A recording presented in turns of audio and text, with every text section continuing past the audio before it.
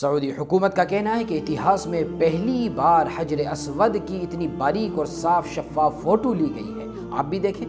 Saudi वजारत इतलात के मुशीर ने पीर के दिन एक बयान में कहा कि फ़ोटो लेने में सात घंटे लगे, जो उनचास हज़ार मेगा पिक्सल तक की फ़ोटो है। उन्होंने कहा कि चूँकि हजर असवद जन्नत का पत्थर है और पहली बार इतने हाई रेजोल्यूशन की फ़ोटो ली गई है, जो इस बात की तरफ़ इशारा करती है कि जन्नत किस कदर खूबसूरत होगी।